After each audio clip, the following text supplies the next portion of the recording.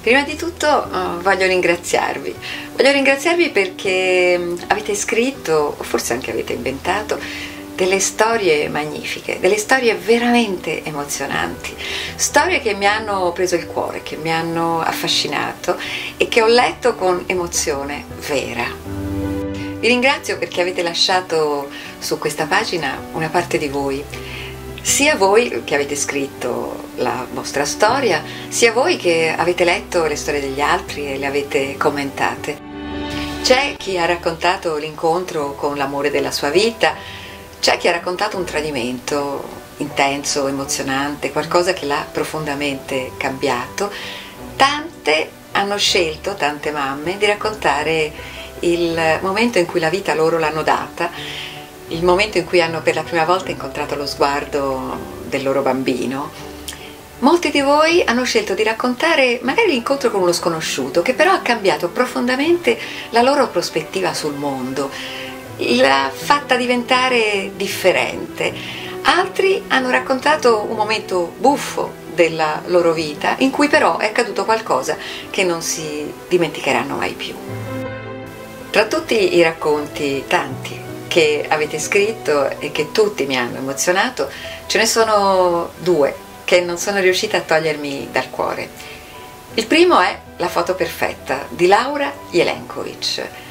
Laura racconta di un eh, momento a Lusaka in un orfanotrofio, lei fa la fotografa, è lì per fare un reportage e incontra lo sguardo di una bambina, una bambina diversa dalle altre, eh, con questi occhi neri profondi, che sta appoggiata alla parete di fango della sua capanna. Lei si avvicina perché vuole, vuole sceglierla per fare la sua foto.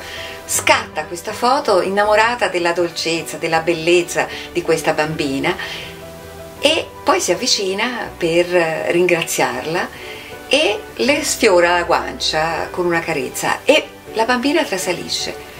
Laura capisce che la bambina, la più bella tra le bambine di quell'orfanotrofio, è sorda e è cieca. E lei dice con una frase veramente, veramente toccante che allora ha capito che era lei che non capiva nulla e si è messa a piangere. Secondo eh, racconto che ho scelto è completamente differente, è un racconto buffo, quella volta che incontrai il signor Righini di Stefania Ughi. Stefania lo racconta in prima persona e si fa chiamare Lorenzino.